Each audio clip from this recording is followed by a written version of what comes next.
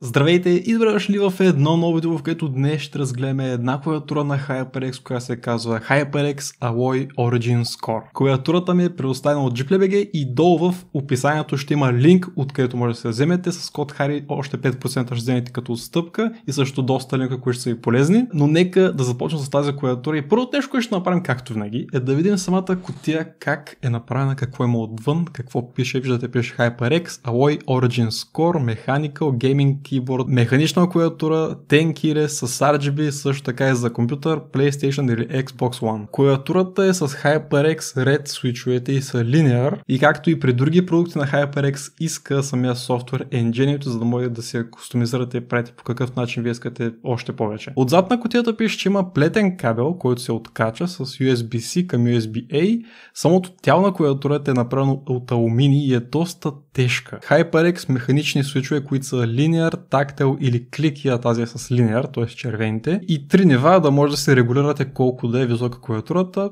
Нещо нормално, което всяка клавиатура почти има. Отстрани пише някакви други неща, какво има в самата котия, какви неща са ви нужни за да я подкарате и някакви такива други неща. От другата страна си HyperX Alloy Origin Score.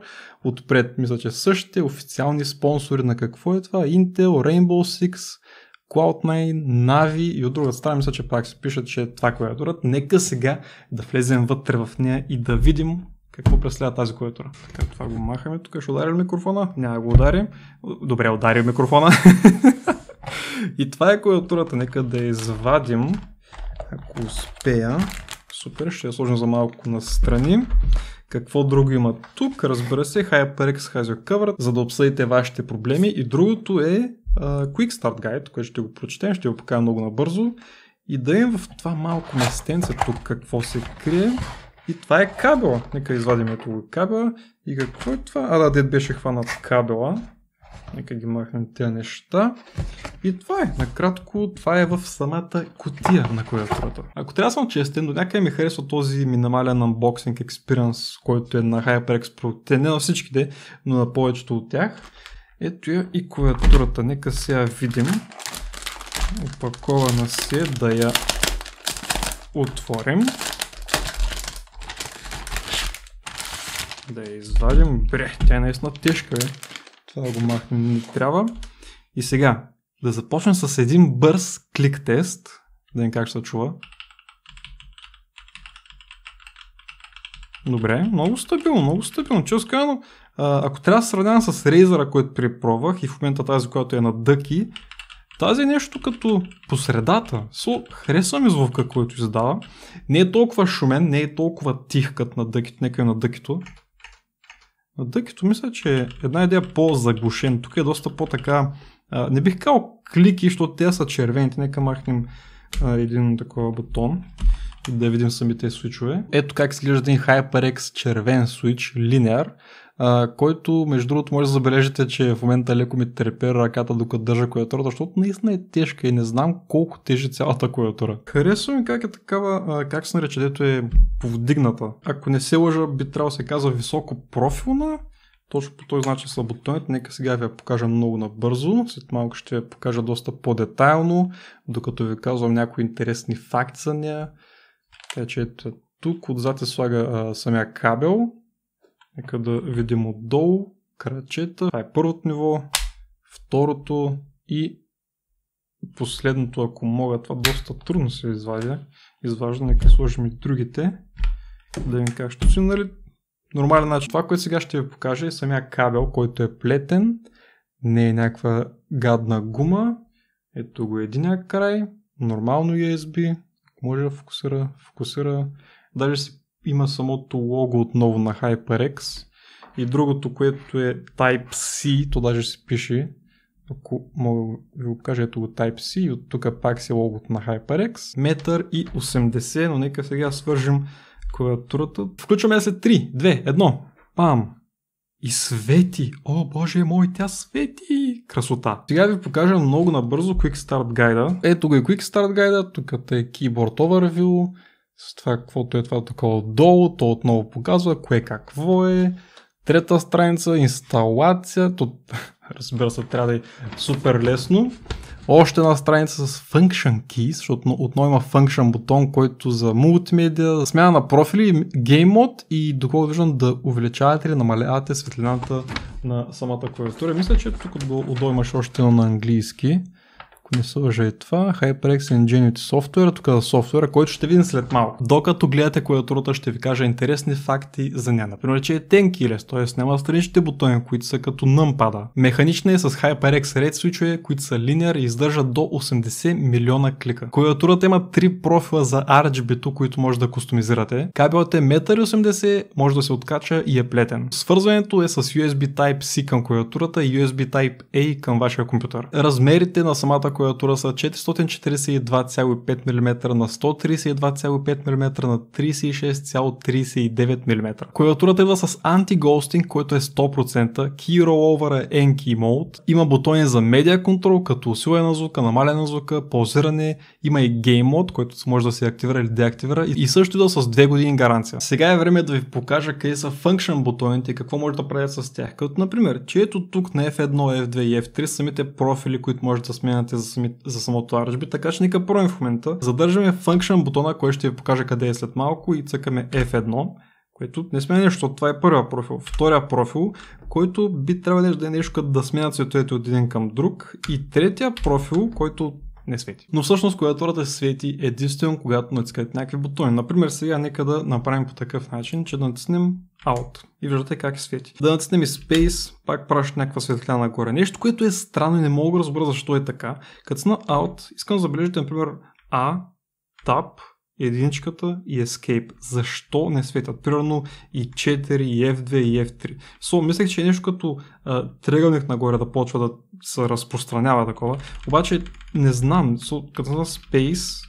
F не свети, I не свети, 4 не свети. Странно, не мога да разбера това. Другите function бутони са от F6 до F11, които са медиа бутоните за паузиране, за започване, за намаляне на звука, усвоение на звука, спиране на звука и всякакви такива. F12 обаче е Game Mode бутона, който нека ви го покажа как е направен. На него е написано G и се нещо като мерник. И разбира се, като при други клавиатури, когато активирате Game мода, това деактивира Windows бутона, за да не можеш да минимизирате от някоя игра, примерно. Нека сега да активираме Game мода, да видим какво ще стане. Задържаме Function бутона, след това е 12 го натискаме веднъж и тук след това, че Game мода е пуснат. Също така, друго отдолу има още един индикатор за капса. Ако активирате и него, ви светва, че сте активирали капс и ако го спрете, разбира се, го деактивира.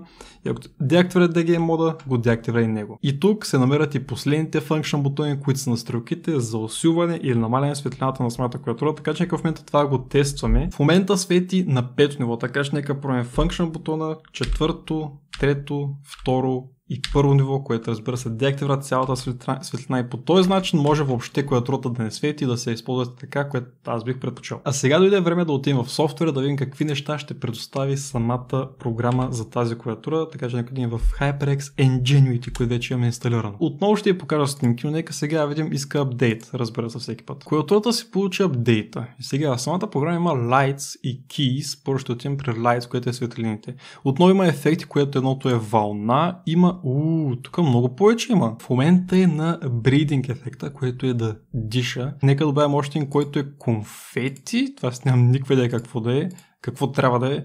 А, доколкото виждам, че ако цъкам, So, мисля, че всеки път, като цъкна, да, сменя светлината на всеки бутон. So, всеки бутон е различен, различен свят, което е яко, често казвам. Все едно 6 Да добавим и слайп. Това е странно. Все едно наистина плъзгаш, ако цъкне нещо не остави същия цвят.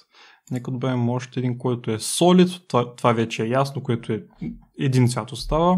Twilight и започна лека по лека все едно. 5 бутона, 4 даже някъде да светят, само ако ги цъкам. Не, нищо не става. Но явно това Twilight, доколкото виждам, само няколко бутона светят. Нека добавим и Sun, което е слънце. Това между жълто, оранжево и някакво червено. За сега ще се върне на Wave. Така че това е със светлините, може да увеличавате брайтнеса, да активирате Game мода, какви букърен бутон да е. Има Alt Tab, Alt F4, Shift Tab или Ctrl плюс Escape. Така че в момента съм деактивирал Alt Tab и ако цъкам Alt Tab, нищо не прави Alt Tab. Ако цъкна Alt F4 малко май страх, защото не знам какво ще стане. Добре, Alt F4 не излиза от програмата, с която снимам, така че това е хубаво. Също има и пресети, които вие може да си правите по какъв начин искате. Сега отиваме при Keys, където, доколкото виждам, може всеки един бутон на клавиатурата да го прави да прави каквото искате вие. Примерно Escape може да... Не е Escape, с Escape може да отваряте а, програма, папка или вебсайт, което и на също така, унази мишка беше същото, така че може и мултимедиа, има толкова много неща, че това е много яко. Примерно не използвате е тези бутони, които са тук, Print and Screen, Pause Break, Scroll Lock, някакви такива, или стрелките не ползвате, примерно е тая част на клавиатурата, която е, можете да използвате цялата за някакви макро бутони, които вие си правите по какъв начин искате. Ще ви кажа отново, да те може да са Keyboard Function, Mouse Function, Multimedia, Macro, Windows Shortcut, Open или Disable, т.е. да деактивирате бутона, но всички други функции, които споменах, самите те имат още функции, които може да добавите. И това е клавиатурата на HyperX Alloy Origin Score. Ще кажа някои малки плюсове и някои малки минуси за този клавиатура, като например първият плюс, който забелязвам аз е, че е тежка и също направена от алуминий, заради това е тежка. Кабелът е плетен и може да се маха, което означава, че клавиатурата може да я занесете където искате по много по-лесен начин, без да го гънете този кабел с някаква опасност да се скъса. И най-големия плюс, който виждам в тази клавиатура е, че всеки един бутон може да се направи по какъвто начин искате, което просто е лудо. Аз преди години, примерно, исках да направя, примерно, някой бутон да ми отваря някаква папка или да ми спира музиката. И сега с една лесна програма, която е с тази клавиатура, може да го направите това с няколко няколко клика. А сега и за минусите. Виждам само два малки минуса на тази клавиатура, като например, че има три пресета, което е твърде малко, имайки напред колко неща може да прави тази клавиатура, по колко различни начина може да свети. Има 10 чатпад някъде, а има само 3 бутона, с които може да си изберете профилите. И другия малък минус, който никога няма да стане плюс за мене, е, че трябва специална програма за да работят някои неща. Просто не ми харесва идеята да стои някаква програма на заден кадър нали, една идея да ми бави компютър още повече. И това е клавиатурата на HyperX. Надявам се ви да ви е харесал. Аз оставам доста сладко изненадан от тази клавиатура, защото не очаквах толкова голямо качество. Ако видеото ви е харесало, искате още подобни ревюта на продукти, оставете много харесване, абонирайте се, станете Харибол и ударете камбана да праща notificaция всеки път, като качвам видеа. В коментарите долу можете да напишете на какви продукти бихте искали да видите ревю. А самата клавиатура и всякакви други продукти може да вземете с 5% бонус намаление с код Хари от сайта на GPLBG. Долу в описанието ще има още линкове, които са ви полезни. Благодаря, че това видео. До следващото видео и дождане!